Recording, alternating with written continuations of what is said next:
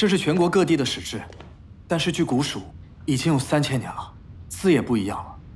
先生，要不我读给您听？不用了，我阅览便知。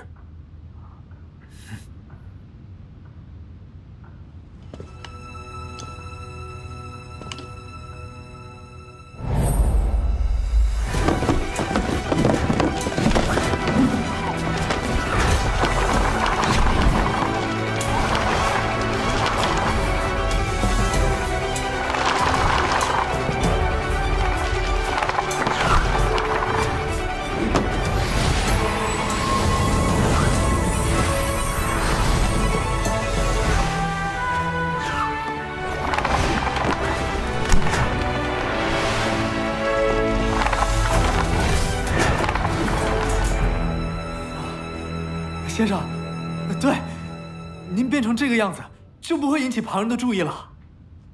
现在这里的一切，我都已经了解了。那您刚才有没有发现什么线索啊？先生，您怎么了？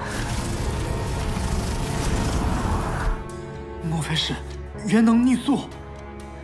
我没事，我只知道我每隔一段时间都会发作一次。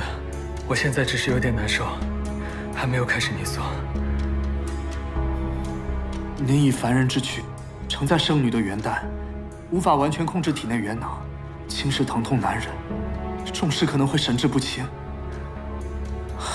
没想到这么多年，您在古墓中熬得这么苦。比起云溪神明救我，这点小事不算什么。现在最重要的就是找到云溪。如果真到万不得已，我会自封元能，等平复之后再解开。只要能把他找回来，让我承受再多的痛苦都没关系。嗯，就是不知道，再见到主人的时候，他会是个什么样子？会不会是个男人，或者是个动物？不管他重生为花草树木。还是金乌神鸟，哪怕是一缕风，一片雪，我都要把它找回来。